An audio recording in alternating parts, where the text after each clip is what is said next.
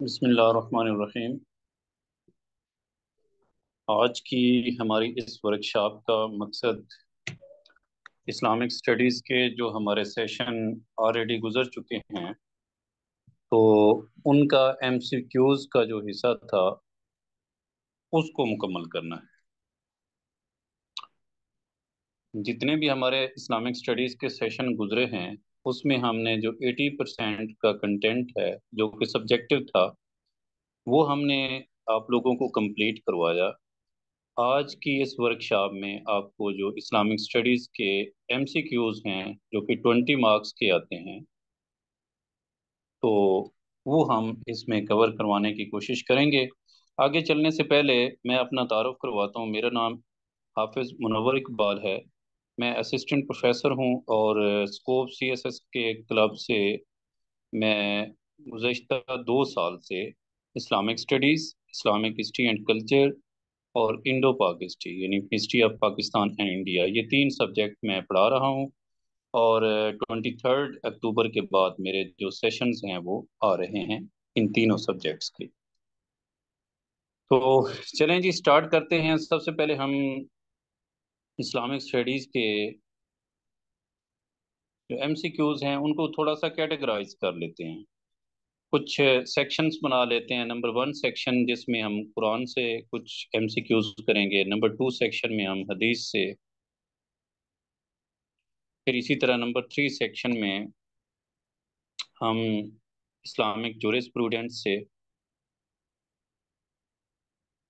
फिर number four में हम जो इम्पोर्टेंट टर्म्स हैं, जो कि फ़र्स्ट चैप्टर में Islamic belief and practical devotions उसका जो कंटेंट है, वहाँ से जितने भी एक्सपेक्टेड एमसीक्यूज हैं, वो हम बनाएँगे।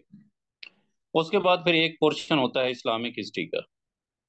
इसको नंबर फाइव पे कर लेते हैं। इस्लामिक हिस्ट्री का from the rise of Islam to the death of holy prophet peace be upon him और उसके बाद जो नेक्स्ट सेशन है सेक्शन है, वो फाइज कैलिफेट खुलफा राशिदीन का जो पीरियड है, इसमें हम कवर करेंगे। ये हमारा कंटेंट होगा, जिसमें हम ये सारी चीज़ें कवर करने की कोशिश करेंगे। तो स्टार्ट करते हैं सबसे पहले जो कुरान का सेक्शन है, उसको हम डिस्कस कर लेते हैं। तो कुरान का सेक्शन अगर आप देखें तो ट्वेंटी थ्री ईयर्स का जो पीरियड है, ये कुरान पाक की तकमील का है। थोड़े से बेसिक फैक्ट्स कर लेते हैं। ट्वेंटी थ्री ईयर्स जी जी, दोनों में करवाता हूँ। दोनों में बाईलिंगुअल तो ट्वेंटी थ्री ईयर्स में कुरान पाक की तकमील हुई और इसकी जो फ़र्स्ट रेवलेशन है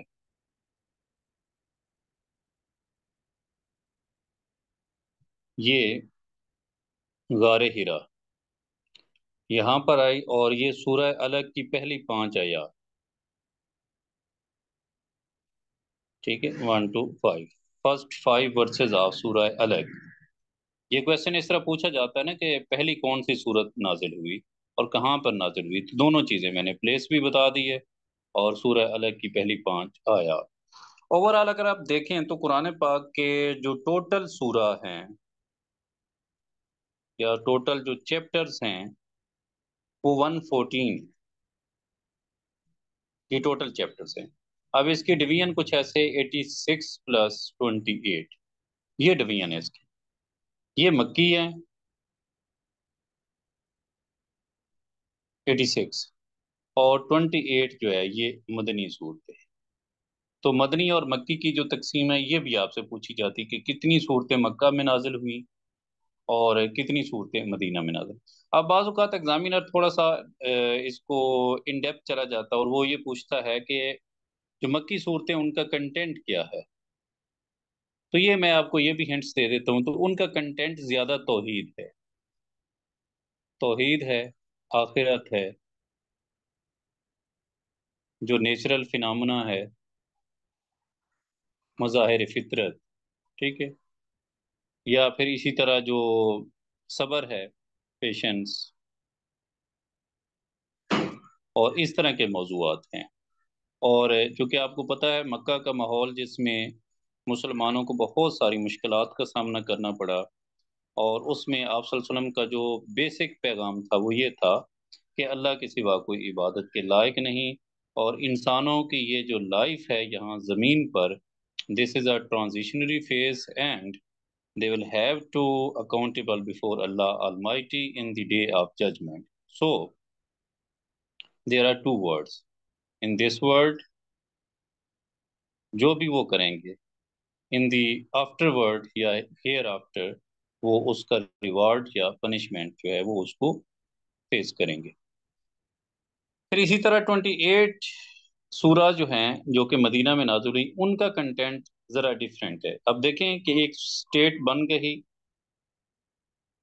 मदीना के अंदर। अब जितने भी एडमिनिस्ट्रेशन के रिलेटेड अहकाम हैं पॉलिटिक्स के रिलेटेड अहकाम हैं सोसाइटी खसूस जो सोसाइटी जिसकी फॉर्मेशन हो रही थी on the principles of Islam अब वो सोसाइटी इस्लामिक प्रिंसिपल्स के ऊपर उसको बिल्डअप किया जा रहा था। तो सोसाइटी को ज़्यादा डील करती है, फिर सोसाइटी के अंदर इकोनॉमी इकोनॉमी कैसी होगी, राइट? फिर जुडिशरी कैसी होगी?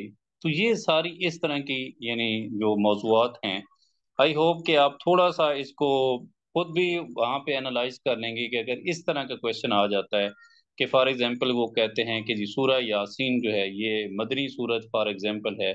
आई डोंट नो मदनी या मक्की, लेकिन जस्ट मैं एग्जांपल के तौर पे कह रहा हूँ। और इसका कंटेंट क्या है? तो आप यहाँ से अंदाज़ा लगा लेंगे कि इसका कंटेंट क्या है। उसके बाद आज आ जाते हैं कि जो लॉन्गेस्ट सूरा है। लॉन्गेस्ट सूरा जो है वो अल बकरा है। और इसी तरह शॉर्टेस्ट जो है वो अल कौसर है। ये दो दो चीज़ों के बारे में पूछा जा सकता है कि लॉन्गेस्ट एंड शॉर्टेस्ट अब Surah Fatiha it was first Sura and Nasr जो है इट वाज द लास्ट जो कंप्लीट जिसकी रेवोल्यूशन हुई। सूरह फातिहा,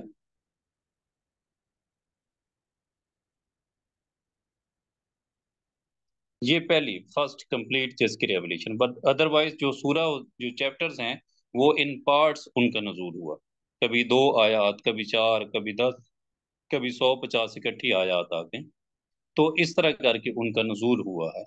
लेकिन एक कंप्लीट जो सूरा है, ये सूरह फातिहा सबसे पहले और लास्ट में सूरह नसर। ये दो सूरा, ये लास्ट में। राइट अब सूरह फातिहा के बारे में आता है कि ये कुरान पाक का हिस्सा है या नहीं, क्योंकि इसकी एक अलग से एक सेपरेट इसकी हैसियत है। सूरह फातिहा फातिहा का मतलब होता है की, खोलने वाली। ठीक है ना? ये वो की है कि जिससे कुरान पाक का चैप्टर्स खुल जाते हैं।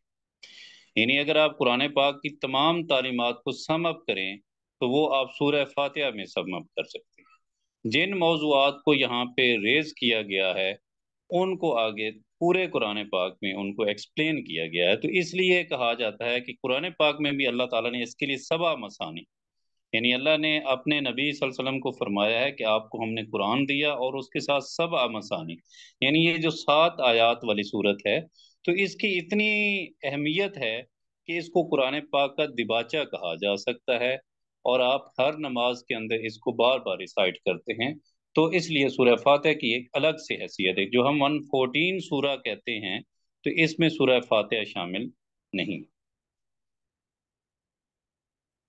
अच्छा उसके बाद है जी, कुछ ऐसी सूरत हैं कि जिनके वन लेटर से नेम शुरू होते one letter only one letter जैसे सूरह कौफ है, ठीक है? जैसे सूरह नून है, नून वल कलम वमायस्तरून ठीक है? फिर इसी तरह सूरह स्वाद है स्वाद वल कुरान ज़िक्र का इज़्ज़त व शिफा। ये सूरा। तो तीन सूरा ऐसी हैं सूरह काफ सूरह स्वाद और Surah Nun. They are named only one letter ठीक है? उसके बाद है जी Surah Yasin. This is called the heart of Quran heart of Quran ठीक है? फिर इसी तरह सूरह और Rahman this is called Zeenatul Quran ठीक है? जीनतुल कुरान कुरान की ये ब्यूटी है, जीनत है, खूबसूरती है। यानी देखे ना कि अर्रहमान अल्लमल कुरान, खलकल इंसान अल्लमहुल बयान वल कमर यानी एक वज़न के ऊपर, यानी ये कुरान पाक की एक खूबसूरती है। इसको कुरान पाक का उरूसुल कुरान भी कहा जाता है, उरूसुल कुरान। यानी दुल्हन, कुरान की दुल्हन। इतनी खूबसूरत, जीनतुल कुरान भी इसे कहा जाता है, सूरह अर्रहमान।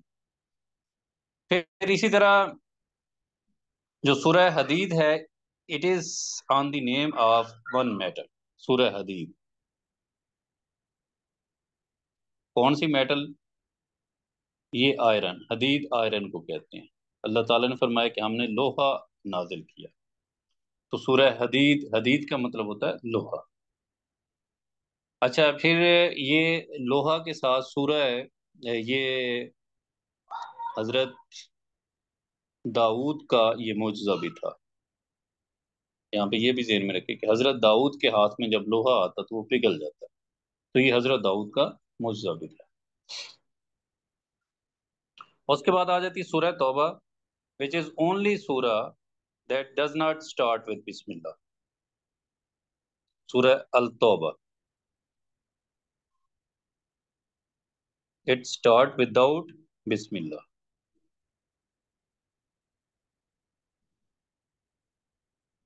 राइट अच्छा जी नेक्स्ट है जी सूर्य नमल इसमें जो बिस्मिल्ला है इट कम्स ट्वाइस ठीक है सूर्य नमल के अंदर. नमल कम्स ट्वाइस दो मरतबा बिस्मिल्ला आती है. ये मैं नीचे बिस्मिल्ला भी लिख सूर्य नमल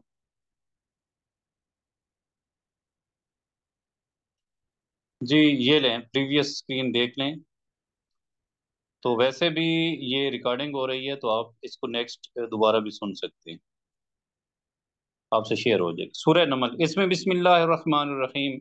एक तो बिस्मिल्लाह सूर्य के स्टार्ट में शुरू होती है और दूसरा जब हज़रत सलमान का जो लेटर है, ये मलका बिल्कीस, ठीक है? Queen of Sheba.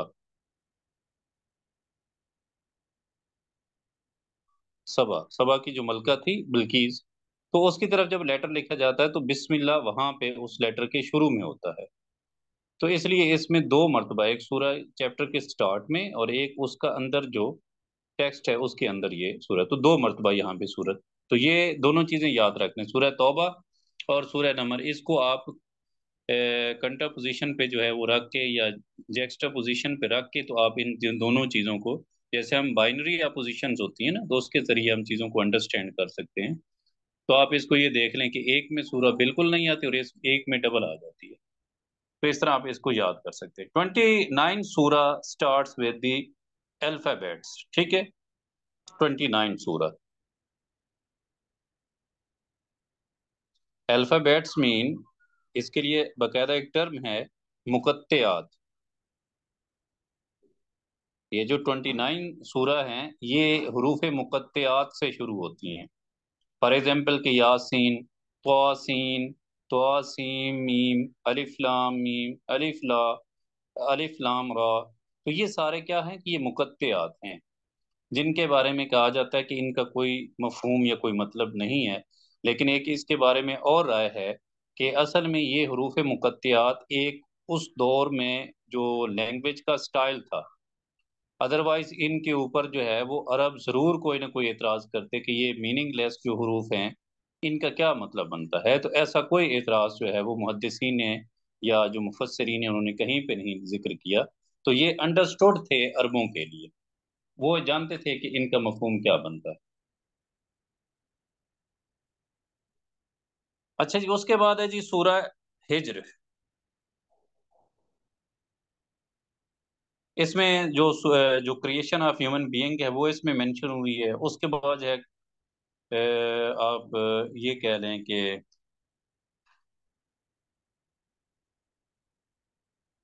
और सूरह जो है, वो सूरा आल इमरान।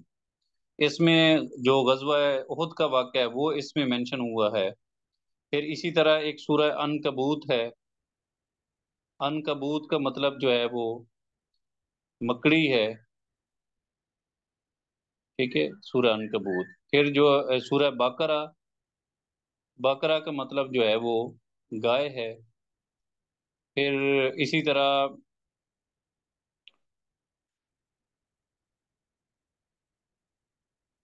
यानी कुछ और भी सूरतें हैं कि जो कुछ चीज़ों के नाम के ऊपर होती हैं। दोबारा इसको आप देख लें, मेरे जहन में जो अभी आ रही थी, मैंने आपको बता दिया अच्छा जी, उसके बाद आ जाते हैं कि name of prophets prophet Musa is mentioned and discussed the most in the holy Quran सबसे ज़्यादा जो ज़िक्र है वो हज़रत मूसा का है। ठीक है जी, पुराने पाक में जो सबसे ज़्यादा जिनका नाम मेंशन हुआ है।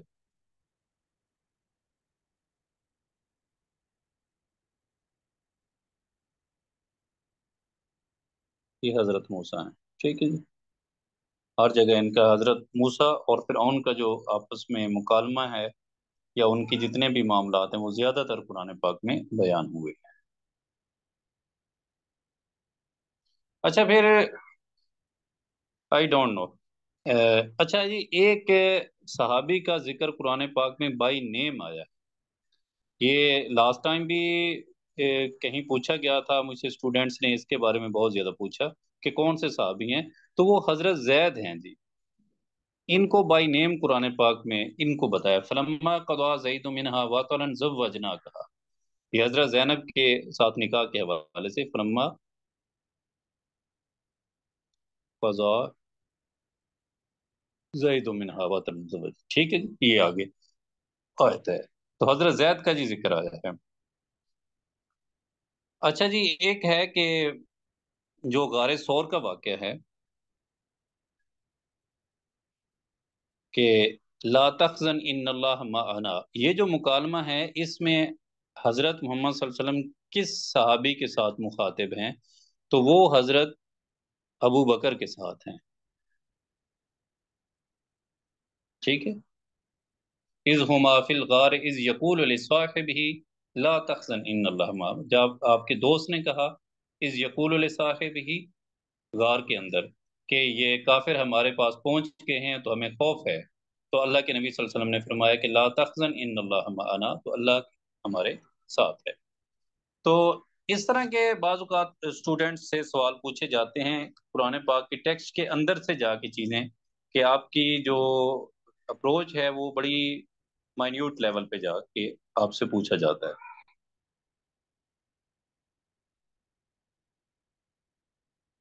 अच्छा जी, कुरान पाक में इबलीस को एज जिन मेंशन किया गया है। मेंशन एज जिन ठीक है जी। इसको स्टूडेंट्स को गलत फहमी होती है, फरिश्ता वो कहते हैं, लेकिन इसको जिन के तौर पे मेंशन किया गया। अच्छा कौन सी जो लेडी है जिसको कुरान पाक में बाई नेम पुकारा गया है तो वो हज़रत मरियम है।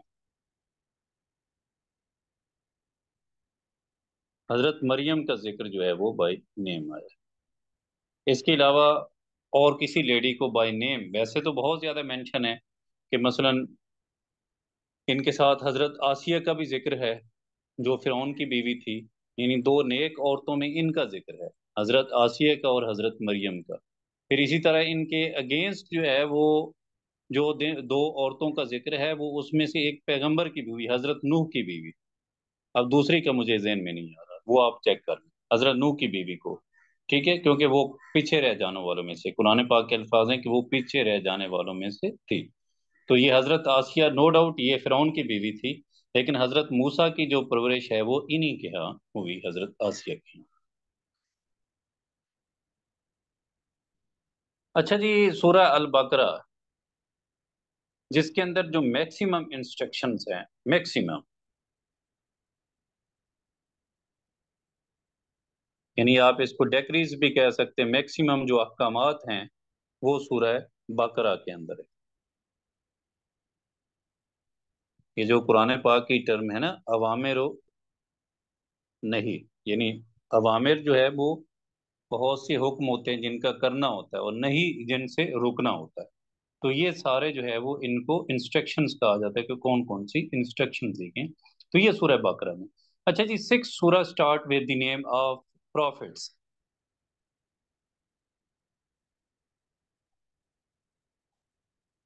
ठीक है? ये कौन कौन से प्रॉफिट्स हैं? इनमें मैं मेंशन कर देता हूँ कि सूरह मोहम्मद, सूरह इब्राहिम, ठीक है, सूरह यूसुफ, इसी तरह सूरह हूद, सूरह नूह और सूरह यूनुस। ठीक है जी? ये पाँच छः हैं, जो पैगंबरों के नाम पे जिनका टाइटल है। छः सूरह है। अच्छा जी सूरह इखलास को सलासुल कुरान कहा जाता है। सूरह अखलास जो है दिस इज़ कॉल्ड सलासुल कुरान। क्या मतलब सलासुल कुरान? ये कुरान पाक का तीसरा हिस्सा है। जी, यस सूरह मोहम्मद। जी, बिल्कुल, ये सूर्य मोहम्मद, सूरह इब्राहिम सूर्य यूसुफ, सूरह हूद, सूरह नूह सूरह यूनुस, ये छह पैगंबरों के नामों पर। अच्छा जी, सलासुल कुरान, यानी कुरान पाक, अगर आप इसको एक मरतबा पढ़ेंगे तो आपको कुरान पाक के तीसरे हिस्से का सवाब मिलेगा। Surah Waqia this is also called Surah Al Ghani Surah Al Waqia इसको अल गनी कहा जाता है। क्यों कहा जाता है? अल्लाह के नबी वसल्लम ने फरमाया कि जिस घर के अंदर वाक़या पड़ी जाए, उस घर के अंदर फाका नहीं होता। तो इसलिए सूरह गनी, यानी आप वसल्लम ने फरमाया कि हर मगरब की नमाज़ के बाद आप घर में सूरह वाक़या पढ़ा करें, इससे आप गनी हो जाएँगे, यानी आपके घर के अंदर फाका नहीं होगा Ayatul Kursi is called the sardar of all verses, ठीक है? अफजल आयात। सूरा सॉरी, ये सूरा नहीं, बल्कि आयत, आयतुल कुर्सी। ये जी बहुत बड़ी, यानी इसीलिए इसको कहा जाता है कि ये अफजल आयात, बड़ी अहमियत है। इसमें इसमें आज़म का भी ज़िक्र होता है। कहा जाता है कि इसमें इसमें आज़म है। बाकी आप ये देखें कि इसमें अल्लाह ताला की वो सिफात बयान की गई हैं कि जिसमें अल्लाह ने फरमाया कि सीना तुम वला नोम। ये एक ऐसी सिफत है कि जो किसी और जी रूह में बिल्कुल नहीं है, शायबा तक नहीं। दुनिया की तमाम तर जो लिविंग थिंग्स हैं, वो सोती भी हैं, उनको ऊँग भी आती है। अल्लाह ने फरमाया है कि अल्लाह वो हस्ती है कि सीना तुम वला नोम, जो ना सोते हैं, ना उनको ऊँग आती है। तो ये इस वजह से भी इसकी बड़ी फजीलत है। अच्छा जी, उसके बाद है जी out of 26 prophets mentioned in the holy prophet uh, in the holy quran sorry 25 with name and one without name. ठीक है? 26 जो प्रॉफिट्स हैं उनको में से 25 को बाय नेम पुकारा गया और एक को बगैर नेम के। और फिर इसी तरह सूरह इसमें लुक, हज़रत लुकमान का जो ज़िक्र है ये जेन में रखिएगा कि इनको बतौर पैगंबर कुरान पाक में नहीं पुकारा गया। ये अभी मेंशन हम नहीं कर सकते कि ये पैगंबर हैं या अल्लाह के वैसे बरगुजीदा बंदे हैं तो इसको किसी जगह, पैगंबर नहीं। लुकमान हकीम वैसे इनको कहा जाता है कि ये दाना शख्स थे।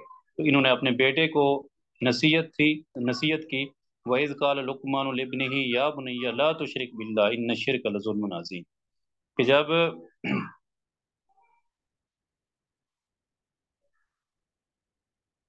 कि जब हज़रत लुकमान अलैहिस्सलाम ने अपने बेटे को नसीहत की कि आप अल्लाह के सिवा किसी की इबादत ना करना और उसके साथ किसी को शरीक ना ठहराना, कि बेशक जो शिरक है वो बहुत बड़ा जुल्म है।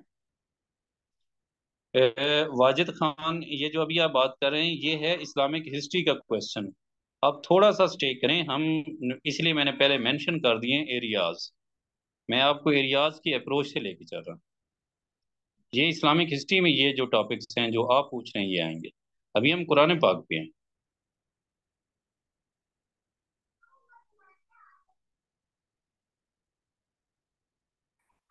अच्छा जी, कुरान पाक पर एराब के हवाले से। ये एराब जो कुरान पाक के ऊपर लगवाया गया, ये हज्जाज बिन यूसुफ ने लगा।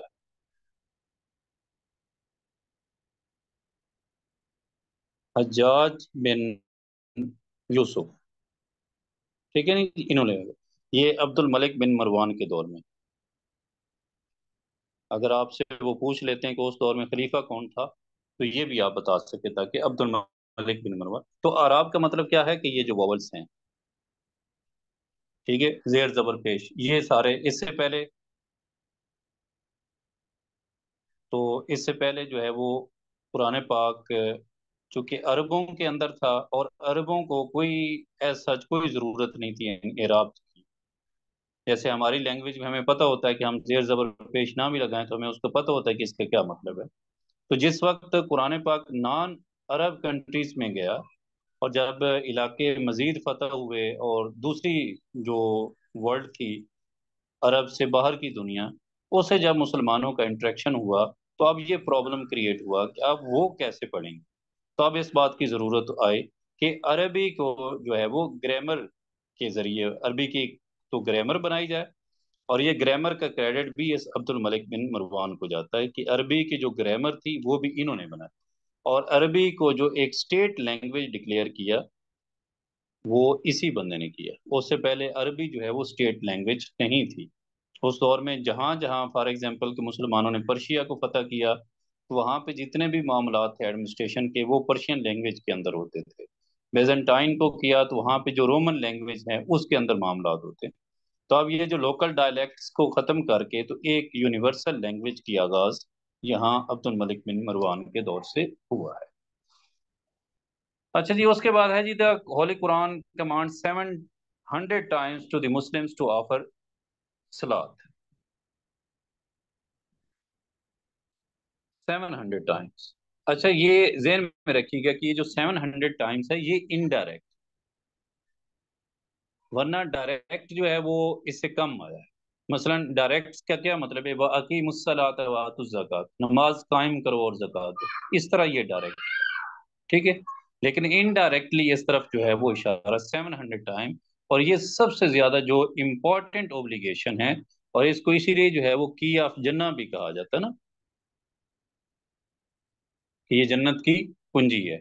और, दोजख में जाने का जो सबसे बड़ा सबब है, वो ये नमाज़ ना पढ़ना। क़ालुलम नकुमिनलमसलिन वलम नकुनुतमुलमिस्क ठीक है ना? कि फ़ी जन्नाती यतसाअलून अनिल मुजरिमीन। मा सलकुम फ़ी सकर। कि जब अहले जन्नत मुजरमीन से पूछेंगे कि मा सलकुम फ़ी सकर, किस चीज़ ने तुम्हें इस दोजख में पहुँचाया? कालू, वो कहेंगे, लम नकु मिनल मुसल्लीन, कि हम नमाज़ नहीं पढ़ते थे वलम नकु नुतमुल मिस्कीन, और हम मिस्कीन को खाना खाने की तरगीब नहीं देते थे। हम लोगों को जो है, वो मोटिवेट नहीं करते थे कि आप गरीबों की तो ये दो चीज़ें हैं, जिसके अंदर एक हकूकुल्ला की नफ़ी, और दूसरी हकूकुल इबाद, और हकूकुल इबाद में जो सबसे बड़ा हक है इंसानों का, वो उनकी रोज़ी रोटी है। बाकी हकूक बाद में है। सबसे बड़ा जो हक है वो रोजी यानी उनके पेट की जो आग बुझाना, ताकि उनका जो जिस्म और रूह का जो रिश्ता है वो बरकरार रह सके। तो ये दोनों चीज़ें मैंने मेंशन कर दी हैं। अच्छा जी, उसके बाद है जी, Yajuj, Majuj. They are discuss in Sura Al Anbiya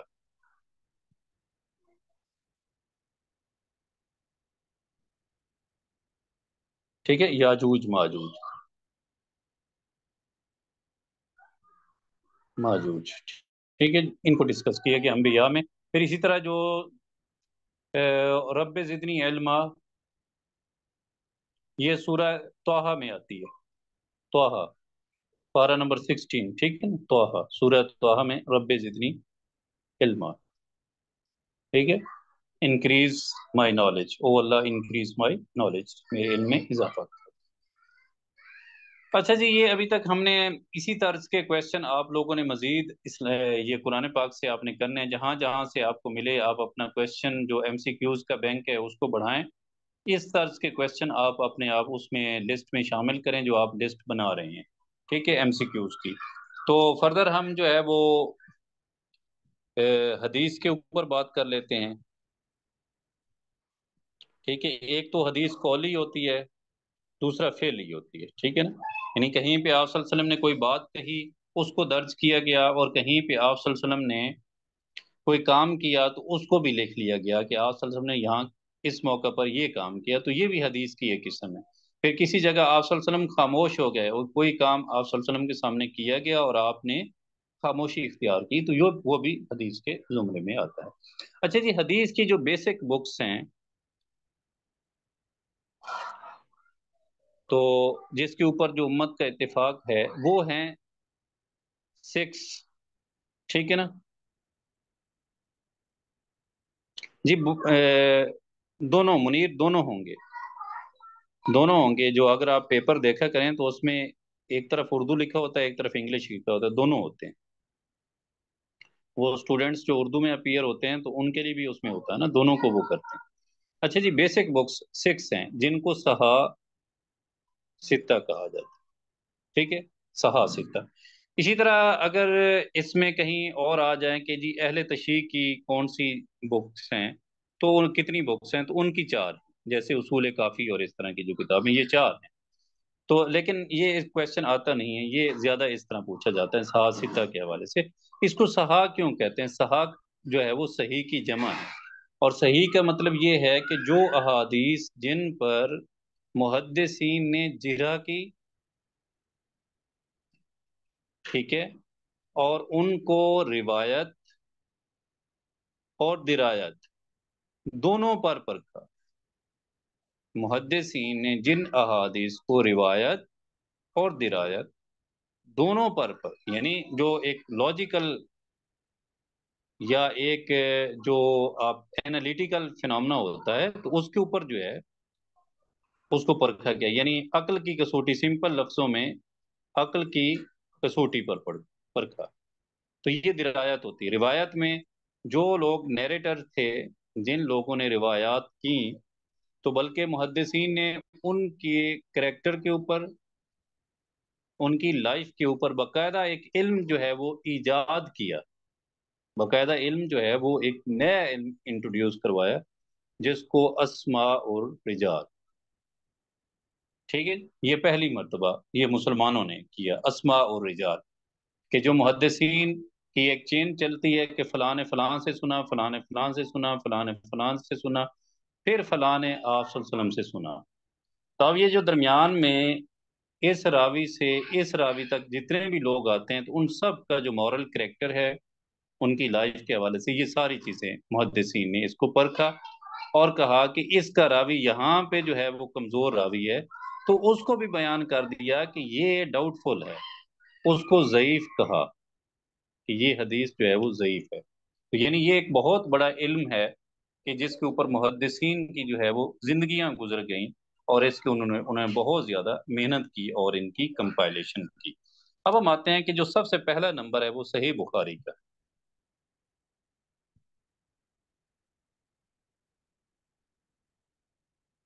ठीक है? अच्छा इनके बारे में आपसे ये पूछा जाएगा कि इनको कंपाइल करने वाले कौन थे? तो ये इमाम बुखारी थे। अब इमाम बुखारी तो सिंपल नाम है। जब वहाँ पे चार नाम दिए होंगे तो आपको कैसे पता चलेगा कि ये? क्योंकि उन्होंने इमाम बुखारी तो नहीं लिखना ना। वो तो सबको पता है, जहरी बात है, सही बुखारी। तो वो नीचे और नाम लिखेंगे। तो इनका नाम मोहम्मद बिन इस्माइल है। मोहम्मद बिन इस्माइल। ये मुहदसिन के नाम भी पूछते हैं। इसी तरह जो फिक फिक जिन्होंने तदवीन की, जैसे इमाम मालिक ने, इमाम शाफी ने, इमाम अबू हनीफा ने तो उनके भी पूरे नाम पूछते हैं। तो जी, मोहम्मद बिन इस्माइल इनका नाम।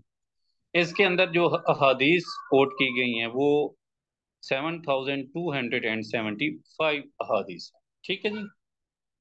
उसके बाद जो नेक्स्ट नंबर है, वो सही मुस्लिम का है। नेक्स्ट नंबर जिस इसमें जो Mohammad bin al Hajjaj sorry Muslim bin al Hajjaj Muslim bin al Hajjaj तो ये सही मुस्लिम है। तो ये ये कम ही देते हैं क्योंकि इसमें तो मुस्लिम बिन अल हज्जाज का नाम आ जाता है ना। सही मुस्लिम से अंदाज़ा हो जाता है। तो बहरहाल इसमें सबसे मैक्सिमम जो अहादीस हैं वो इसी में है। नाइन थाउज़ेंड टू हंड्रेड अहादीस। बानवे सौ अहादीस। अच्छा जी, ये जो पहली दोनों किताबें हैं इनको सही हैन कहा जाता है। सही की जमा सही हैन। ये मेरे ख्याल में मैंने शायद गलत लिख दिया, सही हैन बहरल ऐसे करके। तो ये आप देख लें, सही हैन इसको कहा जाता है। इंग्लिश में भी ऐसे करके लिखा होता है। राइट? तो ये दो अच्छा उसके बाद है जी सुनन शुरू हो जाते हैं। सुनन अभी दाऊद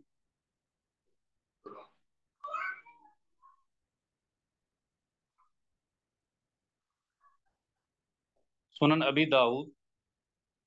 ये अबू दाऊद सुलेमान बिन अशस, ये उन्होंने कंपाइल की। अबू दाऊद सुलेमान बिन अशस। ठीक है जी, ये उनकी किताब। और इसमें अहादीस की तादाद जो है वो फोर्टी एट हंड्रेड है।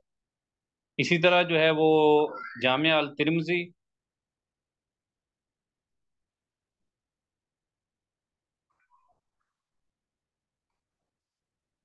तिरमजी ठीक है जी। इसमें जो अहादीस हैं, वो उनतालीस सौ छप्पन है। छप्पन है और इसमें जो इसको कंपाइल करने वाले हैं, वो मोहम्मद बिन ईसा अल तिरमजी हैं। मोहम्मद बिन ईसा अल तिरमजी ये करने वाले हैं। उसके बाद है जी सुनन अल कुबरा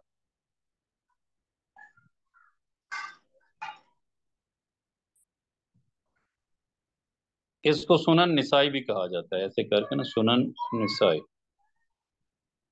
इसको अबू अब्दुलरहमान अल निसाई अबू अब्दुलरहमान अल निसाई इन्होंने कंपाइल किया जी। तो इसके अंदर five thousand two hundred seventy अहादीस हैं। उसके बाद सुनन इब्ने माजा लास्ट में। मैं उर्दू में ही लिख देता हूँ। जल्दी लिखी जाए। इब्ने माजा। ये इब्ने माजा अल कजवीनी ने इब्ने माजा अल कुजवैनी ठीक है जी? तो ये उन्होंने कंपाइल किया और इसमें फोर थाउज़ेंड अहादीस है। फोर थाउज़ेंड अहादीस। अच्छा यहाँ तक हमने कुछ ये बेसिक फैक्ट्स उसके बाद आ जाते हैं कि सबसे ज़्यादा जो मैक्सिमम जिनकी नैरेट जिनके नैरेटर हैं या जिन्होंने सबसे ज़्यादा रिवायात की अहादीस तो वो हज़रत अबू हुरैरा हैं। सबसे ज़्यादा अहादीस इन्होंने रिवायत की तकरीबन इनके बारे में कहा जाता है कि फोर थाउज़ेंड के करीब जो अहादीस है, इन्होंने रिवायत की उसके बाद जो औरतों में सबसे ज़्यादा अहादीस हज़रत आयशा से मरवी हैं। हज़रत आयशा से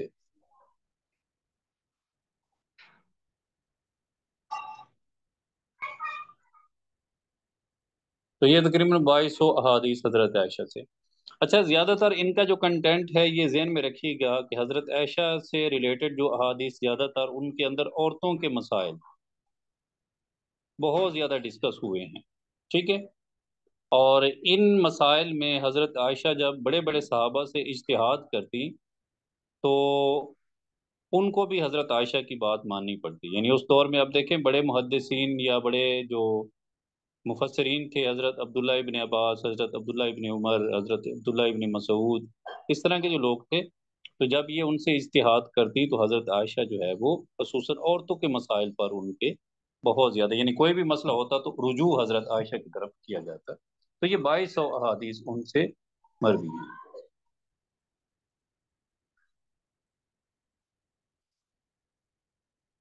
अच्छा उसके बाद ही कुछ मुअत्ता इमाम मालिक इसमें भी सत्रह सौ बीस अहादीस हैं। मुअत्ता, इमाम मालिक। इन्होंने भी एक अपनी हदीस की किताब मुरतब की थी। तो सत्रह सौ बीस, ये तकरीबन सबसे पहली जो हदीस की किताब है, ये इमाम मालिक ने ही लिखी थी। जहरी बात है, वो तो इमाम बुखारी ने तो बहुत बाद जाके, कहीं दो सदियाँ बाद जाके की। तो इमाम मालिक जो है, वो पहली सदी के हैं और खसूस इमाम अबू हनीफा भी इनके दर्स में शामिल होते रहते थे। तो 1720 अहादीस मुत्ता इमाम मालिक के अंदर हैं। अच्छा जी, अब हम आ जाते हैं पिलर्स ऑफ़ इस्लाम के। ये बड़ा इम्पोर्टेंट सेक्शन है और यहाँ से भी क्वेश्चन बनते हैं पिलर्स ऑफ़ इस्लाम के हवाले से। अब सबसे पहले प्रेयर को हम देख लेते हैं या सलाद को हम देते हैं। सलाद। सलाद का क्या मतलब? है सलाद का मतलब होता है प्रेयर यानी दुआ मांगना या इसका मतलब झुकना भी होता है। ठीक होगी सलाद। अब फर्दर इसके ऊपर जो है वो सलाद में बहुत सारे ऐसे क्वेश्चन आ सकते हैं। फॉर एग्जांपल के तीन चार मैं यहाँ पे मेंशन कर देता हूँ कि नमाज़ कसूफ नमाज़ कसूफ। ये तो दो इनमें से लाजमी एक आता है नमाज़ कसूफ और नमाज़ खसूफ। अब ये किस मौका पर पढ़ी जाती है ये सोलर एक, एक, एक्लिप्स। और ये ल्यूनर। ठीक हो गए इसमें आप आपको पता कैसे चलेगा? दोनों एक तरह की है ना? कसूफ और खसूफ। तो आपने क्या करना है? इसको आपने जीम छे के। इसमें आपने रख लेना है? और इसी चे में चाँद ठीक है? नमाज़ खसूफ चाँद, ल्यूनर। तो ये आपने एक एसोसिएशन कायम कर लेनी है राइट उसके बाद नमाज़ इस्तिस्का के बारे में पूछा जाता है। नमाज़ इस्तिस्का, ये शॉर्टेज ऑफ़ रेन के वक्त ये नमाज़ पढ़ी जाती। तो इन तीन चार नमाजों के बारे में इसी तरह फिर आगे और भी हैं। नमाज़ सलातुल खौफ है कि जब आपकी कोई परेशानी है, खौफ है तो उस वक्त पढ़ते हैं सलातुल तौबा पढ़ते हैं। फिर इसी तरह सलातुल हाजा, जब आपको कोई हाजत होती है, फिर इसी तरह आप नमाज़ इस्तिखारा पढ़ते हैं कि जब आप किसी हतमी नतीजे पर ना पहुँच रहे हों तो आप इस्तिखारा तो ये सारी नमाजें इनमें से भी कोई पूछा जा सकता है। उसके बाद आ जाते हैं जक़ात के ऊपर। जक़ात पर बहुत सारे क्वेश्चन बनते हैं। एक तो इसका नसाब क्या है? Twenty five, two point five percent. फिर इसका जो ज़िक्र कहाँ पे हुआ है, सूरह तौबा, आयत नंबर सिक्सटी, इसमें इसके मसारिफ हैं जी रिसिपियंट्स ये पास पेपर्स में बड़ा पूछा जाता है कि जो ज़क़़त के मसारिफ का किस सूरत में ज़िक्र है तो वो सूरह तौबा, उसकी आयत नंबर सिक्सटी, ये दोनों मैंने बता दिए। कि मसलन इन्ना मसदाक़ा तो ये वाली आयत। इन्ना मसदाक़ातफ़करा वलमसाकिन वलआमिलीन अलैहा वलमुअल्लफ़ति ये वाली ठीक है जी ये पूरे इसमें आठ मसारिफ हैं ये मसारिफ भी पूछ लेते हैं कि कितने मसारिफ हैं आठ मसारिफ हैं अच्छा जी उसके बाद है जी ज़क़़त पे थोड़ा सा मैं और भी बता देता हूँ आपको इन डिटेल बता देता हूँ कि लैंड के ऊपर ज़क़़त लैंड के ऊपर उशर उशर जो है ये टेन परसेंट होता है लेकिन इसकी शरह फाइव परसेंट भी है। ये दोनों आपने चीज़ें नोट करनी है कि जो नेचुरल सोर्स से जिसकी इरिगेशन होती है, उसके ऊपर दस परसेंट है और जो जैसे ट्यूबवेल होते हैं, ठीक है, या वेल होता है, कुआँ वगैरह तो या पीटर वगैरह तो इसके ऊपर जो है वो फाइव परसेंट ये, फिर इसी तरह जो लाइफ स्टॉक के ऊपर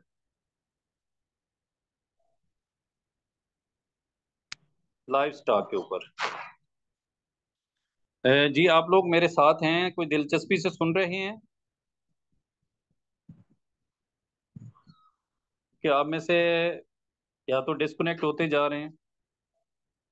क्योंकि ये आप लोगों के लिए ही सेशन रखा है और बिल्कुल एग्जैक्ट टाइम पे हमने रखा है, ताकि ताज़ा ताज़ा आपको चीज़ें आपके माइंड में बैठ जाएँ। हमने अगर पहले रखते तो ये आप लोग भूल जाते। जी thank you so much thank you so much जी जी, बिल्कुल। जी, ठीक हो गया थैंक यू अच्छा लाइफ स्टॉक के ऊपर। अब लाइफ स्टॉक के ऊपर अंदर अगर आप देखें तो मजीद इसके ए बी सी हम बना सकते हैं सेक्शन ए में हम कैमल्स को रख सकते हैं। पाँच ऊँट इसका नसाब है, पाँच ऊँट। पाँच ऊँट हो जाए तो फिर आप टू पॉइंट फाइव परसेंट के हिसाब से आपने जक़ात देनी उसकी जितनी भी मालियत, मसलन आपका एक ऊँट जो है वो पाँच लाख का है तो पाँच ऊँट आपके पच्चीस लाख के हो गए। तो आप पच्चीस लाख में आपने टू पॉइंट फाइव परसेंट के हिसाब से जक़ात देनी अच्छा जी, उसके बाद है जी, दूसरा है बकर। बकर में हर वो चीज़ जो गाय, बैल या भैंस इस तरह की हो ठीक है ना? इस तरह की हो। इन्हें आप देख रहे हैं कि शुरू में तो अरब में तो गाय बैल था ना? तो अब इस, ये भैंस तो चूँकि इंडिया में थी तो यहाँ फिर इस भैंस को भी क्यास किया गया, इन्हीं गाय। इसलिए ये बकर कैटेगरी है। अब भैंस को आप देखें, कैमल के ऊपर इसको क्यास नहीं कर सकते, या भैंस को आप बकरी के साथ क्यास नहीं कर सकते। ठीक है ना? तो ये उसमें, यानी ये इनकी अगर तादाद जो है वो थर्टी हो तो फिर आपने जक़ात देनी है। तीसरी कैटेगरी है गनम। अब गनम के अंदर हर वो चीज़ जो बकरी नुमा होगी, जैसे बकरी है, भेड़ है, दुम्बा है, वगैरह वगैरह, ये सारी चीज़ें। तो ये अगर आपके पास फोर्टी हो तो फिर आपने जक़ात दें। तो इसका चालीस नसाब है। बहरहाल इतना वो आगे जाता नहीं है, लेकिन अगर कहीं बहरहाल जिस वक्त अगर जक़ात के ऊपर क्वेश्चन आ जाता तो ये चीज़ें आपको वहाँ पे भी काम देंगी।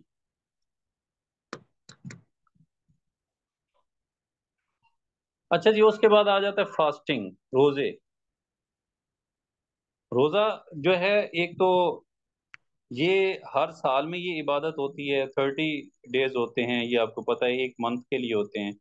और इसमें अल्लाह ने फरमाया कि, या अल्लाजीन आमनु, कोतिबा अलैकुम सियाम, कमा कोतिबा अलल्लजीन मिन कबलिकुम लअल्लकुम तत्तकून कि आपसे पहली उमतों पर भी ये रोज़ा फ़र्ज़ किया गया था, ताकि तुम मुत्तकी बन जाओ। बेटे वो आप बिल्कुल परेशान ना हो, ये सारी रिकॉर्डिंग आप बाद में सुन सकते हैं। ये रिकॉर्डिंग यूट्यूब के चैनल पे भी होगी और ये हर ग्रुप में वाहिद साहब शेयर भी कर देंगे। तो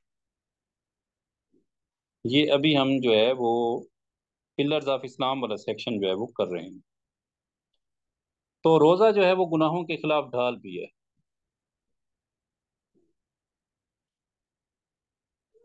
ढाल। और पहली उम्मतों पर भी रोज़ा फ़र्ज़ था। उसके बाद ये हज से बड़े क्वेश्चन बनते हैं। हज। एक तो हज के जो ओब्लिगेशंस हैं, ये थोड़ा सा मुझे एक रजिस्टर निकालने दें तो मैं मजीद डिटेल से करवा देता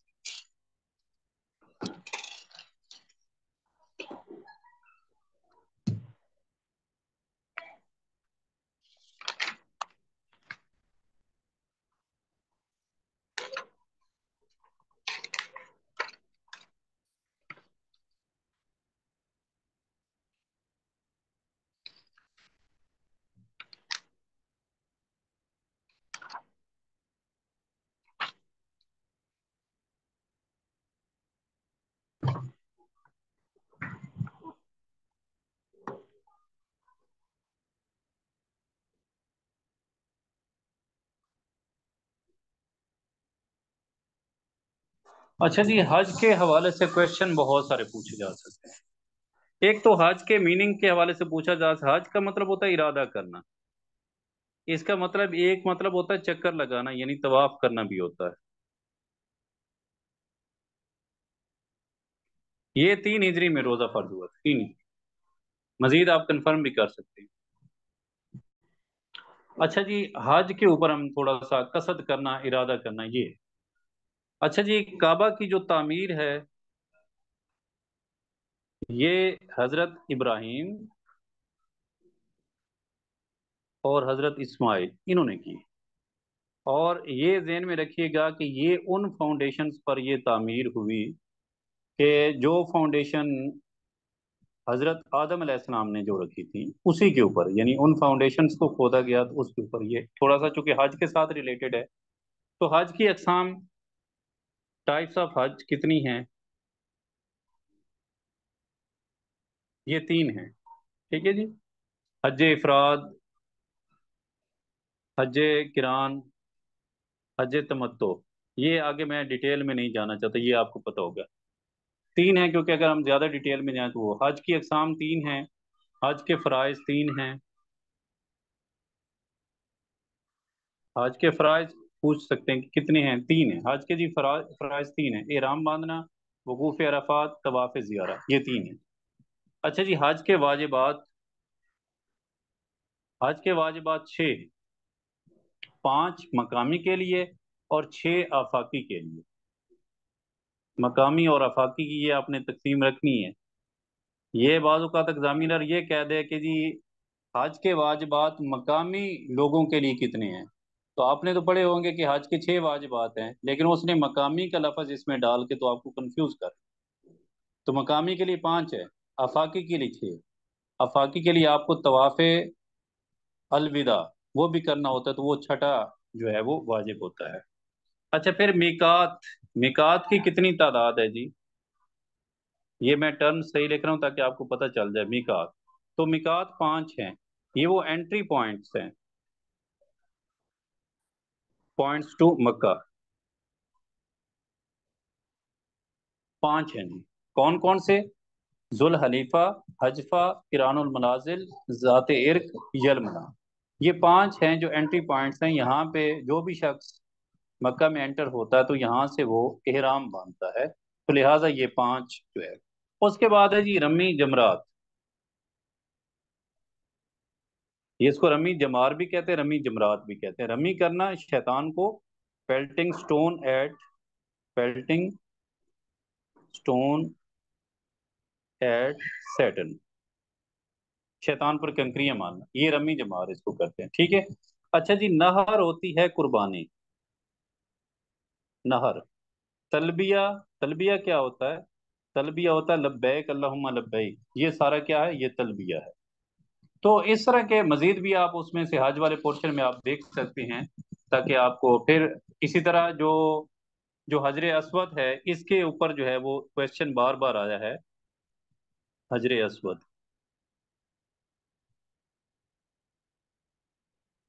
ठीक है जी। अच्छा इसके बारे में सवाल कैसे आता है? इस्तिलाम क्या है? ये टर्म आपने याद रखनी है। Kissing black stone इस्तिलाम।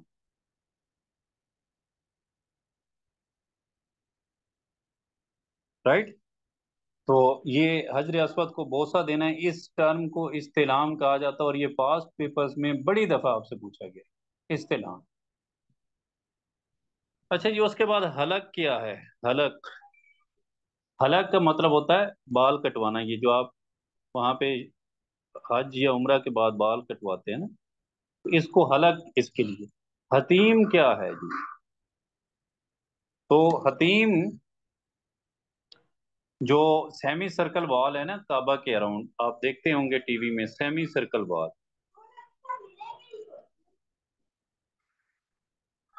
तो ये हतीम है जी। मुताफ क्या है? मुताफ वो जगह है जहाँ पे आप तवाफ करते हैं, मुताफ। अच्छा जी, रमल क्या है? रमल छोटे कदमों के साथ आप चलना है। छोटे छोटे कदमों के साथ कंधों को हिलाते हुए आप चलते हैं तो इसको क्या कहते हैं? रमल। कसर क्या है? कसर, वहाँ पे आप जो नमाजें हैं, वो कसर करके पढ़ते हैं। तो कसर यानी मुसाफिर की जो नमाज़ है, जो हाफ़ नमाज़ होती है, अगर चार फ़र्ज़ हैं तो आप दो फ़र्ज़ पढ़ लें। तहलील क्या है? ला कहना, इसको तहलील कहते हैं। नहर, कुर्बानी, तहलील जो है, ला इल्लल्लाह। तो ये सारी जो है वो अच्छा फिर एक शब्द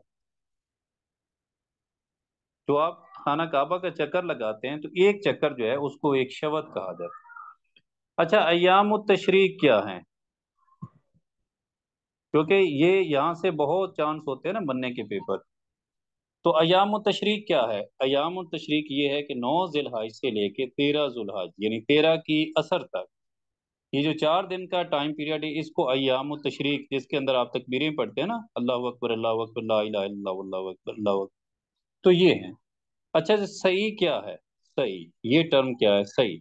सफ़ा और मरवा की पहाड़ियों का चक्कर लगाना, ये सही है। ठीक है जी? योम अरफा क्या है? योम अरफा। योम अरफा जिस दिन आप नौ जिलहज को मिला से मैदान अरफात में जाते हैं ना तो वहाँ पे खुतबा हज सुनते हैं। तो ये अरफा है, योम अरफा नौ जिलहज। इसको जिलहज में लेकर ठीक होगी जी? तो बाकी मेरे ख्याल में काफ़ी सारी अपनी काफ़ी सारी चीज़ें हो गई हैं इसके हवाले से। तो अब हम मज़ीद आगे चलते हैं तो बहुत सारी चीज़ें यहाँ पे हो गई हैं। अच्छा अब हम आ जाते हैं कि जो बुक्स के हवाले से। तो एक तो तौरात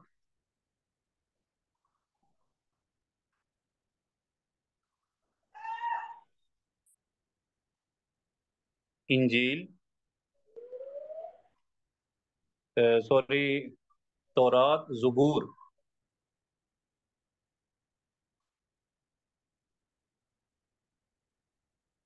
इंजील और कुरान मजीद।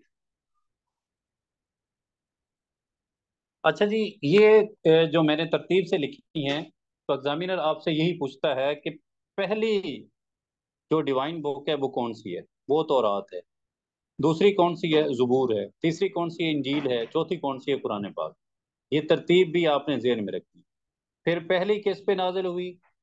हज़रत मूसा पे। ये भी पूछा जाता है कि जिन जिन पे नाजिल हुई तो उन, उनके बारे में भी पूछा जाता है। तो हज़रत मूसा पे।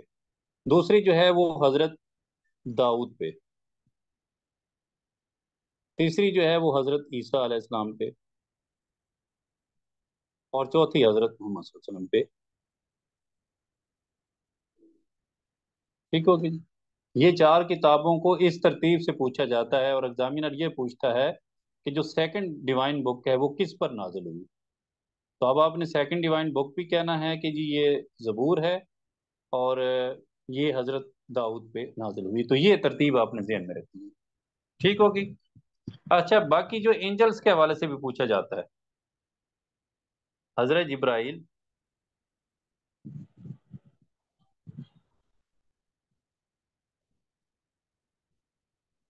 नहीं नहीं नहीं, बेटे, हज़रत दाऊद, हज़रत मूसा से पहले तो नहीं थे ना? ये तो आप देखें ना कि हज़रत ईसा अलैहिस्सलाम से दो हज़ार साल पहले आए। तो जो हज़रत मूसा है, वो तीन हज़ार साल पहले। हज़रत दाऊद और उसके बाद हज़रत सुलेमान। तो ये ये टाइम लाइन इसको आप दोबारा भी चेक कर सकते हैं। बहरहाल, पहले जो है वो तौरात तौरात जो है वो आप देखें कि हज़रत मूसा अलैहिस्सलाम को round about five thousand years हो गए हैं। फाइव थाउज़ेंड इस तरह की तीन हज़ार साल कबल मसीह। एक सेकंड जरा वेट कीजिए।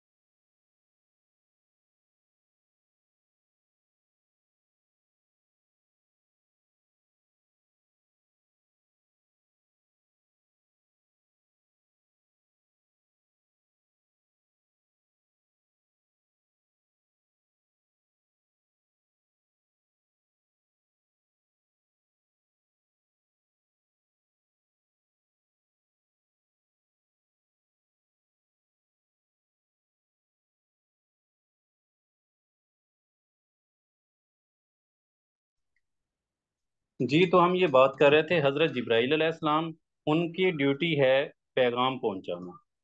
ठीक है? कन्वे मैसेज टू प्रॉफिट्स उसके बाद है जी हज़रत इसराफील। इनकी ड्यूटी है सूर फूंकना, क़यामत के दिन ये सूर फूंकेंगे। फिर इसी तरह हज़रत इजराइल की ये डेथ की ड्यूटी है एंजल ऑफ़ डेथ और हज़रत मेकाइल, इनकी बारिशों की ड्यूटी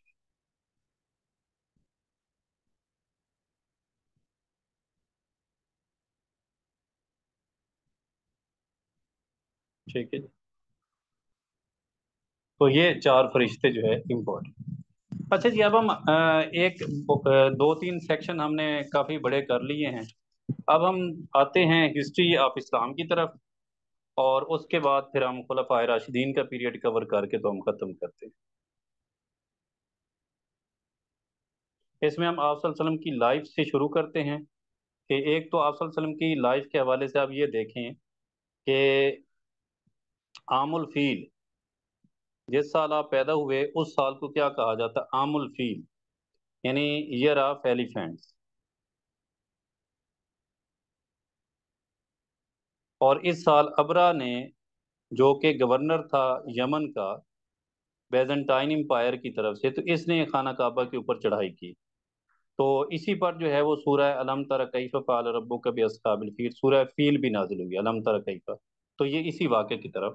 तो इस साल जो है वो आप वसल्लम की बर्थ हुई, पाँच सौ इकहत्तर ईस्वी, ठीक है? पाँच सौ सत्तर भी लिखी हुई है, पाँच सौ इकहत्तर भी लिखी हुई है। बहुत सारी चीज़ों में पाँच सौ इकहत्तर लिखी हुई किताबों में। बारह रबी अव्वल। ठीक हो गया। पीर के दिन, पीर का दिन, ये सारी चीज़ें आप नोट कर लें। उसके बाद आ जाते हैं जी आप वसल्लम की जो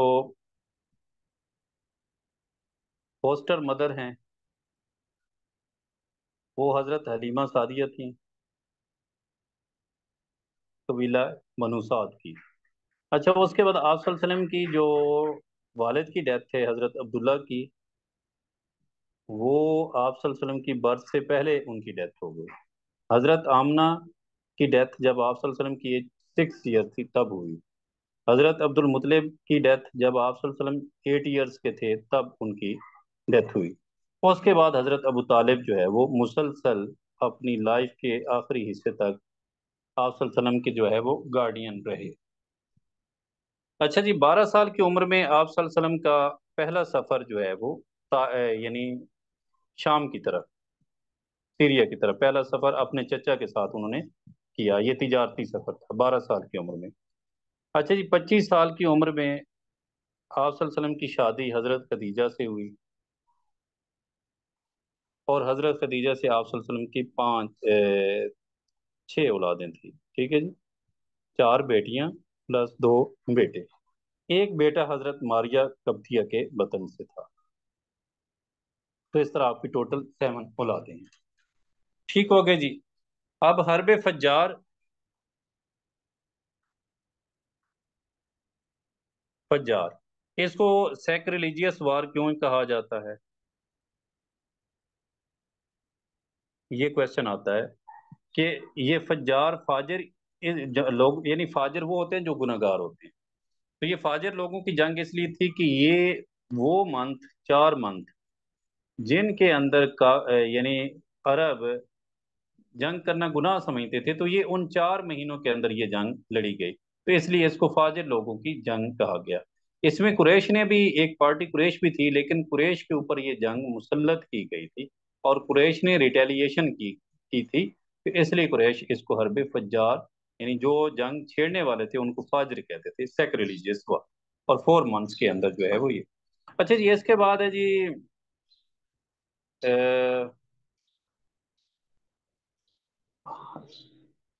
हरब फज्जार के बाद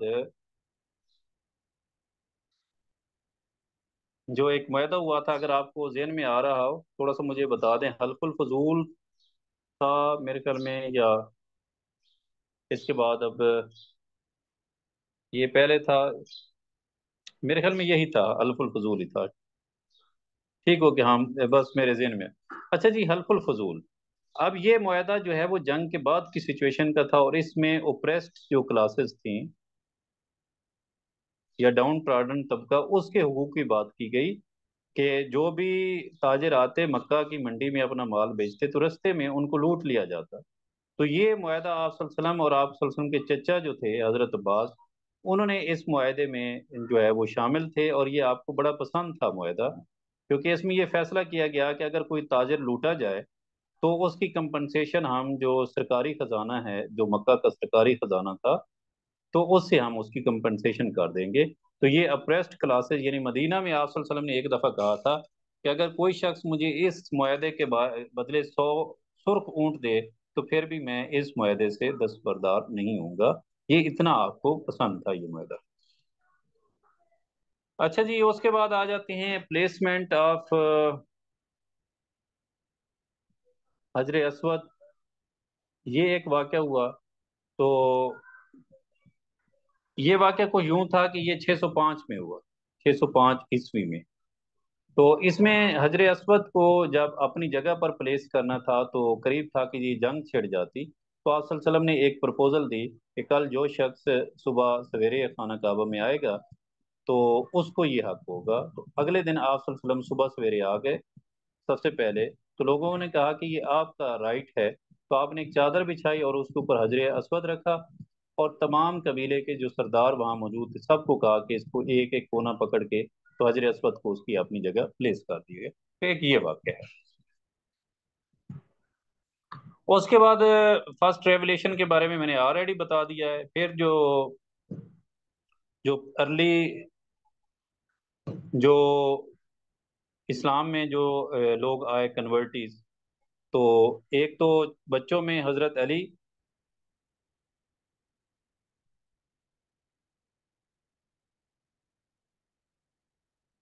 इसी तरह औरतों में, वीमेन में, हज़रत खदीजा ने सबसे पहले इस्लाम कबूल किया।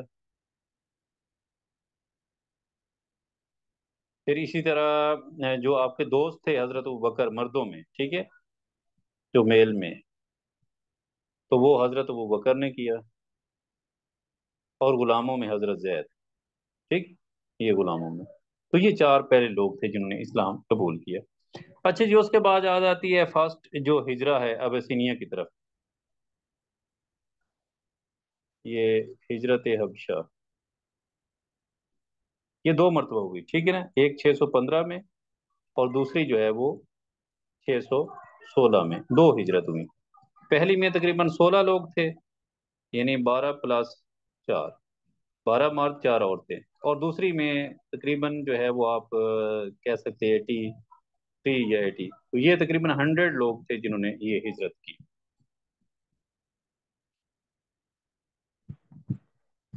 उसके बाद आ जाते हैं शेब अबी तालिब। शेब अबी तालिब। ये वो जगह थी जहाँ तीन साल तक सोशल बाइकआउट आप का जो है वो सोशल बाइकआउट रहा, यहाँ तीन साल तक। ये एक घाटी थी जहाँ पर तीन साल तक मुसलमानों का बाइकाट उन्होंने किया। उसके बाद जो मिराज नबी का सताई रजब 620 ईस्वी, इसमें ये मेराज नबी का वाक्य हुआ। ये सन आपसे पूछ सकते हैं। अच्छा फिर आप ना ये हिसाब लगा लिया करें 571 से तो यानी अब आपकी कितनी एज हो गई थी? तकरीबन आपकी एज जो है वो फिफ्टी ईयर्स के करीब जो है वो हो चुकी थी। तो आपको यानी नबूवत के तकरीबन दस साल हो चुके थे तो इसमें मिराज नबी का जो है वो वाक़ जहूर हुआ। जिसकी तस्दीक हज़रत अबू बकर ने सबसे पहले की और यहीं पर हज़रत अबू बकर को सिद्दीक का जो है वो खिताब दिया गया। राइट? अच्छा दो साल आपने याद रखने एक तो ईयर ऑफ़ सारो और दूसरा जो है वो ईयर ऑफ़ डेलीगेशन ये ईयर ऑफ़ सारो जो है, ये दस नबवी है। जब आप के जो दो बड़ी शख्सियात, यानी हज़रत अबू तालिब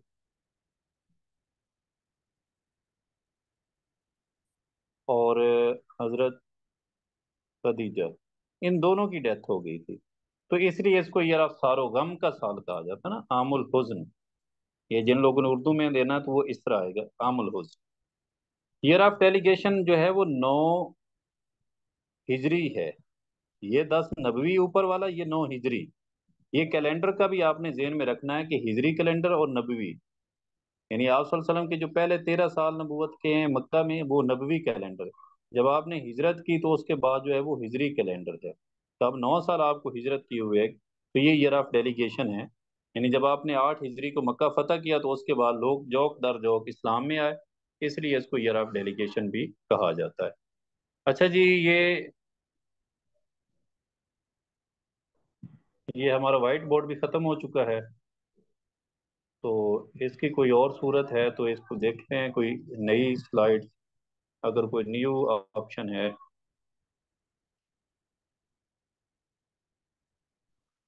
तो इसको हम एक दफ़ा ख़त्म कर देते हैं। तो फिर नहीं कर लेते हैं।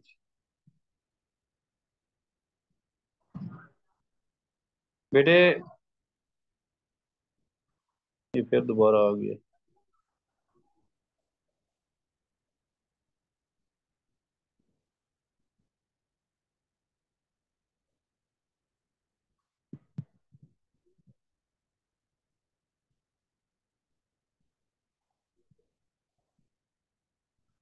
चले, अभी मैंने आपको करवाना था तो इस पे अब वाइट बोर्ड भी हमारा ख़त्म हो गया।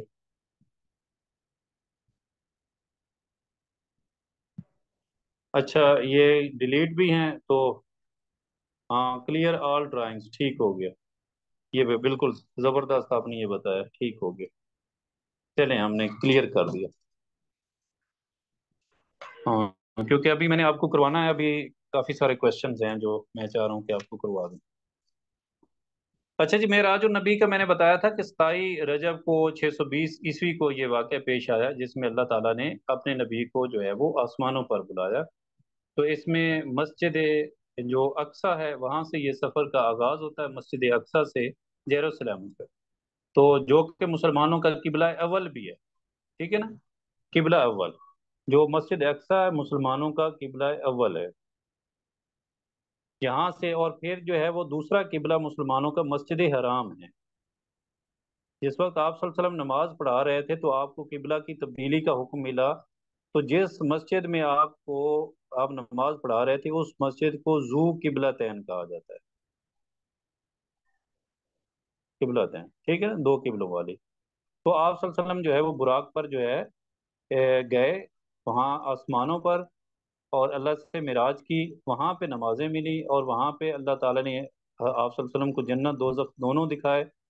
वहाँ पे पैगम्बरों से भी आपकी मुलाकात हुई, हज़रत इब्राहिम अलैहिस्सलाम से छठे आसमान पर जो है वो मुलाकात हुई। तो इस तरह के जब वापस आए तो आपने ये वाक़ अपने दोस्तों को बताया, अपने साहबों को बताया तो हज़रत अबू बकर ने सबसे पहले,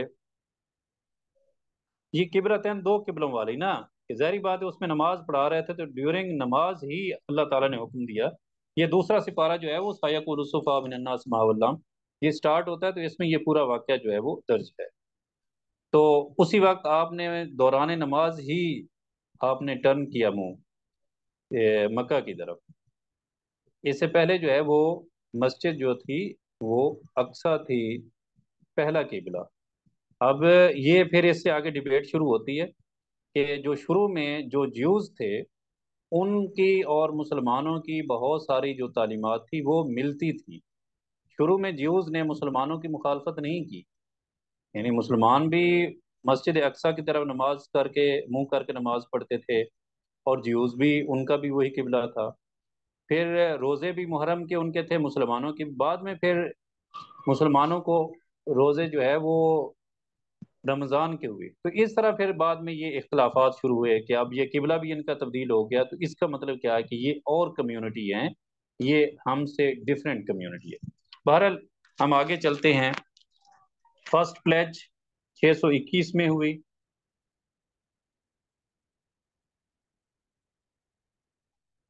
ठीक है?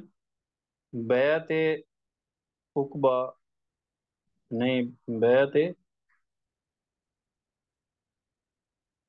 सानी और अकवा। हाँ। बैत अकवा सानी और अव्वल ठीक है ना? अव्वल और सानी ये फ़र्स्ट प्लेज एट अकबा और सेकंड प्लेज एट अकबा 622 में सेकंड प्लेज हुई है। तो ये मदीना के लोगों के साथ जो है वो हुई है। पहली में तकरीबन जो है वो सोलह लोग इन्होंने बैत की अगली में तकरीबन सेवेंटी थ्री लोगों ने बैत की। तो जो दूसरी बैत है सेकंड प्लेज इसको बैत हरब भी कहा जाता है, ठीक है ना? प्लेज ऑफ़ वार इसमें दोनों पार्टीज़ ने आपसलम और मदीना के लोगों ने यह मुहिदा किया कि जंग और अमन हम दोनों सूरत में एक दूसरे के साथ रहेंगे। अच्छा जी, उसके बाद आ जाता है माइग्रेशन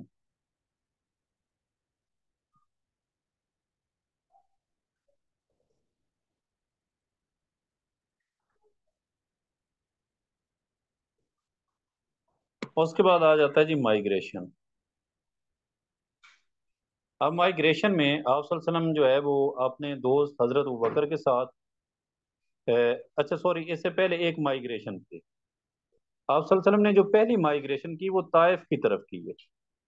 ताइफ में जो है वो हज़रत जैद आपके साथ थे और यहीं पर वो वाक़ हुआ कि जो ताइफ के लोगों ने आपके साथ ज्यादती की और आप लहूलुहान हो गए।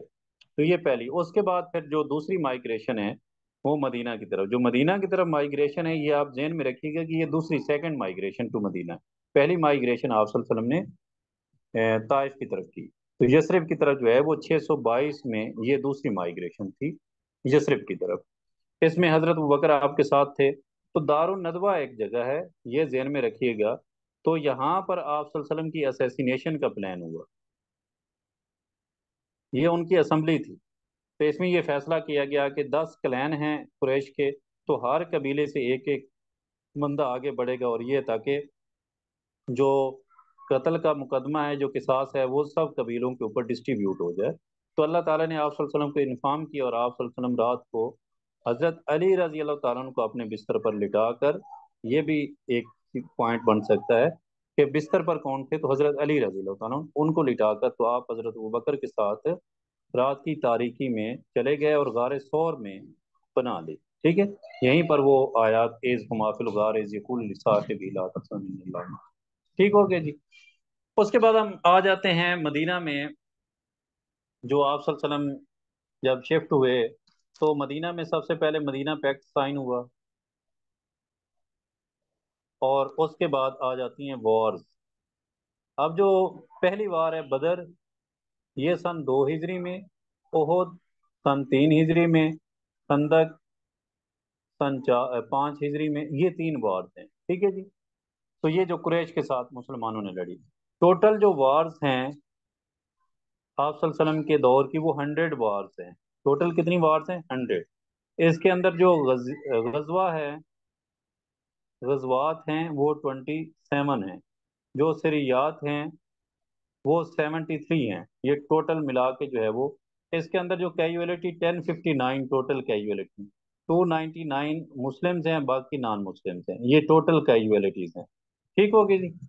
बाकी आप ये गिन लें कि कितनी बनती है।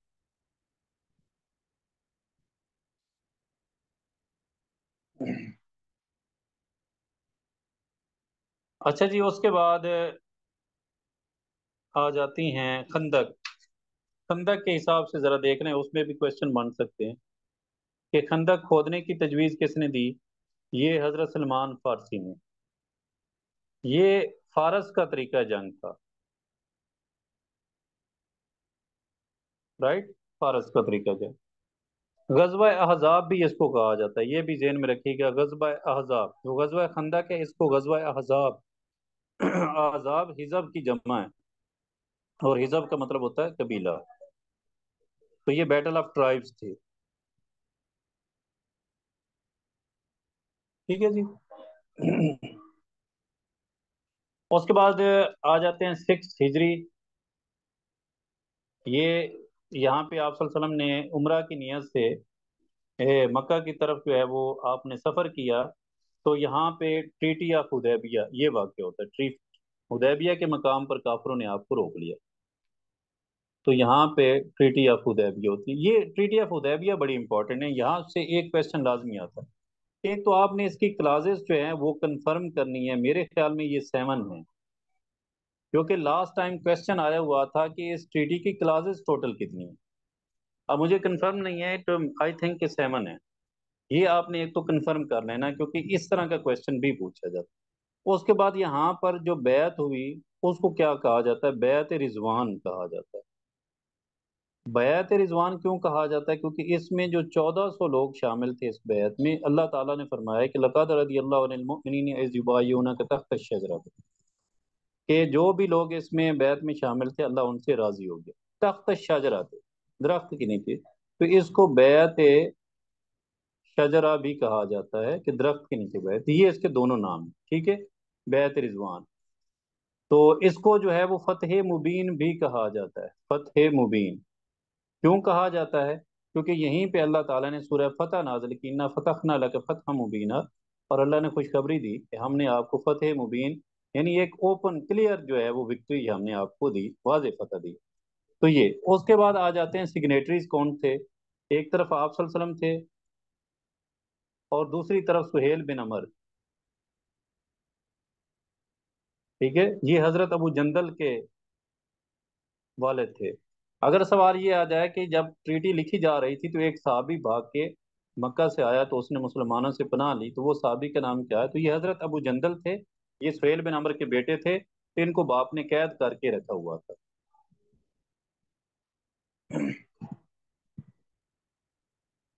मेरे ख्याल में बैत रिजवान में से यही होंगे, और उसके बाद आ जाते हैं कि सेवन हिजरी में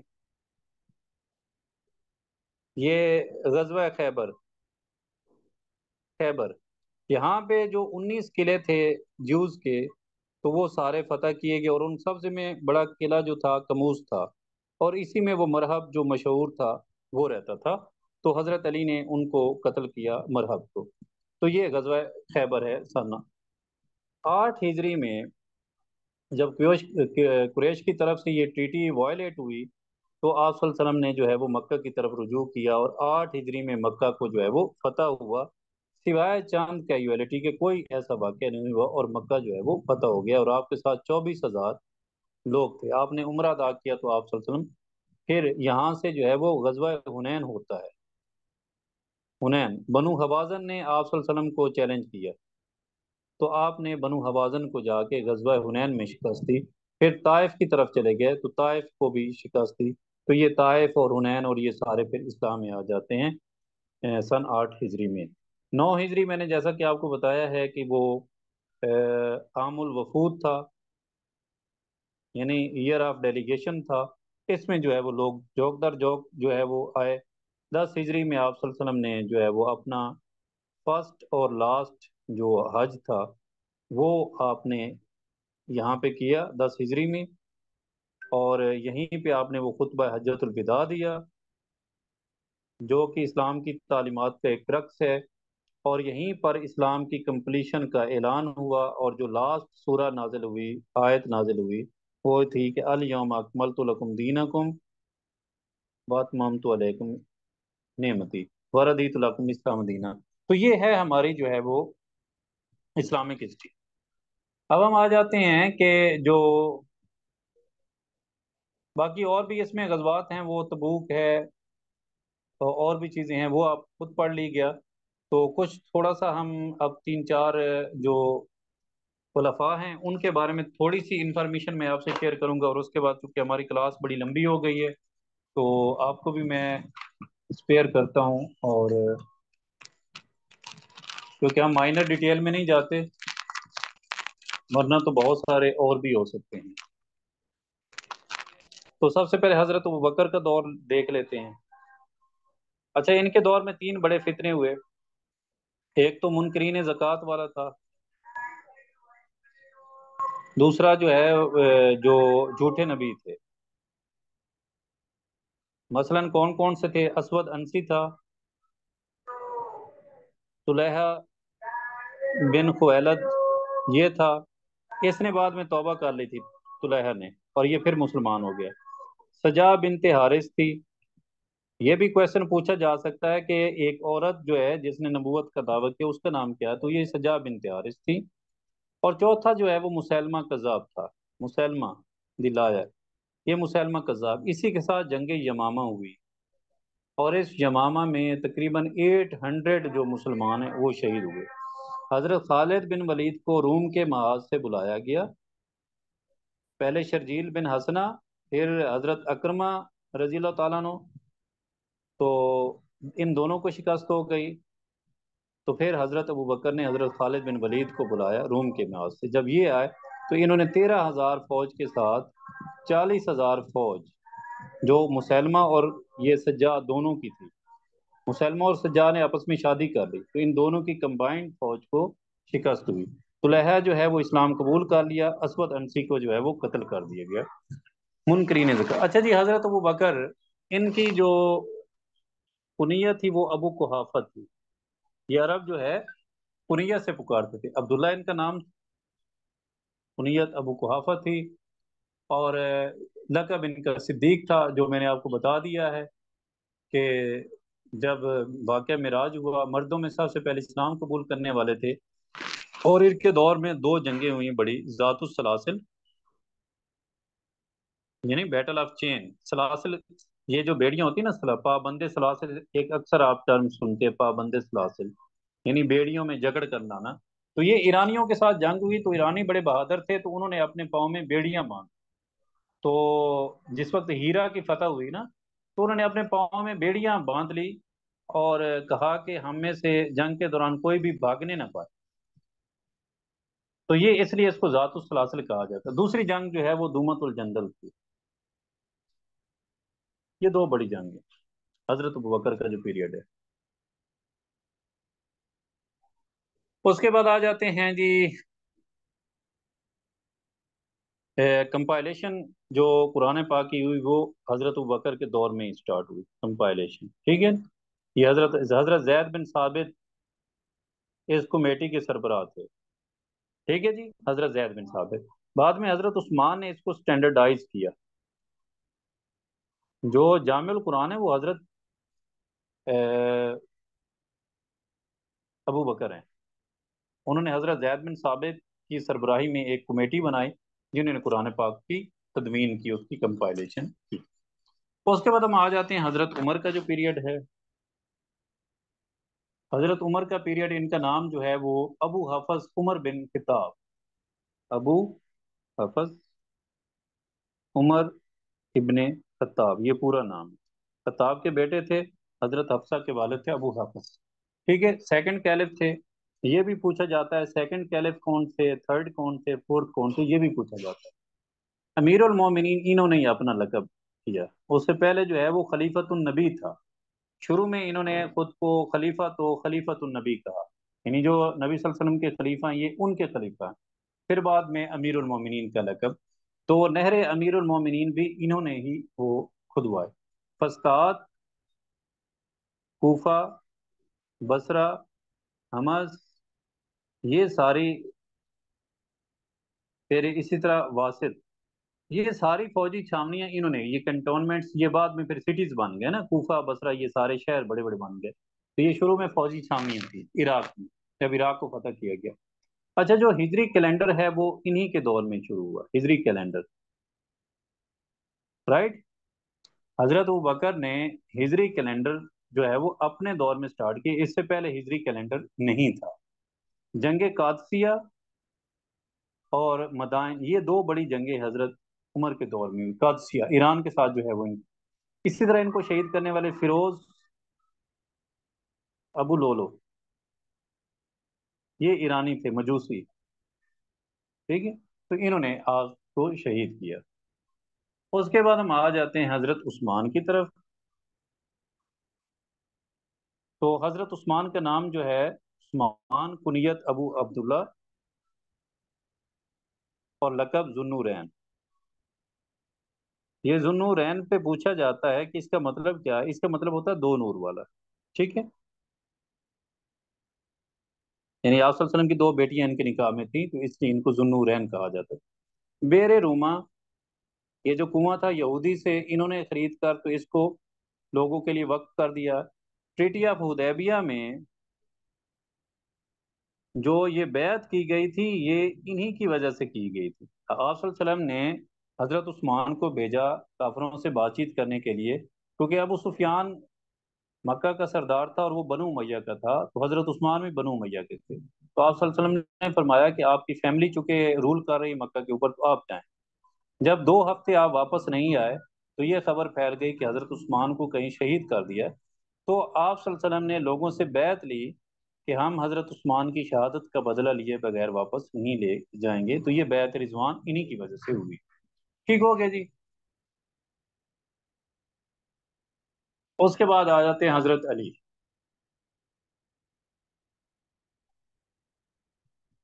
इनका जी अबुल हसन अबुल हसन कुनियत ठीक है जी। अली इब्ने अबी तालिब। ठीक है जी। अबू तुराब भी इनको कहा जाता है। अबू तुराब। यानी ये भी हज़रत अली रज़ी का लकब है, अबू तुराब। फिर हज़रत अली रज़ी को बाबुल इल्म बाबुल इल्म भी कहा जाता ठीक है जी? ये दो तीन आपके मुख्तलिफ़ जो नामों से आप पुकारे जाते थे, अबुल हसन आपकी कुनीत थी। अच्छा जी, किला कमूस में खैबर का जो सबसे बड़ा किला था, वो आपके हाथ पे फतह हुआ सात हिजरी में। आपके दौर में जंग जमल हुई हज़रत आयशा से, जंग सफ़ीन हुई हज़रत अमीर माविया से और जंग नहरवान हुई खारिज से। खारजी, ठीक है ना? जो खारिज थे। तो अच्छा इस एक असदुल्ला भी इन, इनका लकब है। असदुल्ला। लकब, ये भी। अच्छा हिजरत के वक्त हज़रत अली रज़ी अल्लाह के बिस्तर पर लेटे थे। फिर जिस वक्त जंगे खंदक हुई। तो जो अमर बिन अब्द वुद था, बहुत बड़ा सरदार और बड़ा पहलवान था। काफरों की तरफ़ से जब ये आया तो हज़रत अली रज़ी ने इनके साथ जंग की और इनको कत्ल किया। ये बड़ा इंपॉर्टेंट इवेंट है। अच्छा जी अब्दुलरहमान इब्ने मुलजम, इन्होंने आपको शहीद किया। तो ये हज़रत अली रज़ी कूफा की जाम मस्जिद में ये शहीद थे कूफा की जाम मस्जिद। राइट? तो ये हमने आपसे सारी चीज़ें शेयर की हैं। तो अभी तक आई होप कि आप काफ़ी इसमें अंडरस्टैंड कर चुके होंगे। तो बाकी आप खुद भी तैयारी करें।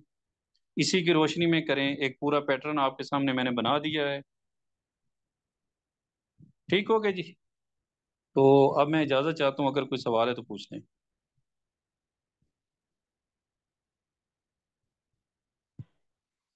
अच्छा जी अनाउंसमेंट ये है कि मेरे सेशन तीनों, मैंने इस्लामिक हिस्ट्री इस्लामिक स्टडीज़ और history of Pakistan and India ये तीनों मेरे सेशन जो है, ये आपके पेपर्स जो हो रहे हैं ट्वेंटी थर्ड के बाद, ये अनवर्ड मेरे सेशन आई होप कि ये एडवर्टाइज भी इनकी हो गई होगी। तो अगर आप में से कोई ज्वाइन करना चाहता है तो पेपर्स के बाद वो ज्वाइन कर सकता है। तो थैंक यू सो मच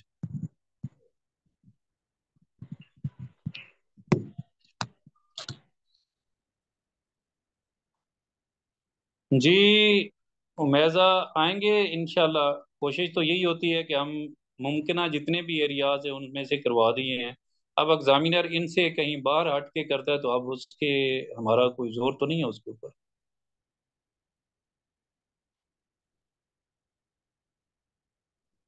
जी यूट्यूब चैनल ईसा, ये एहतशाम साहब का जो चैनल है ना scope C S S club ये यूट्यूब आप इसको करेंगे ना scope C S S club तो ये उसके ऊपर सारी हमारी जितनी भी रिकॉर्डिंग्स हैं, वो अवेलेबल हैं।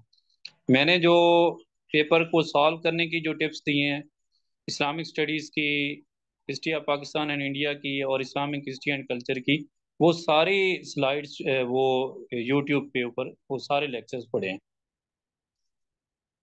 Thank you so much best of luck Allah हाफिज़।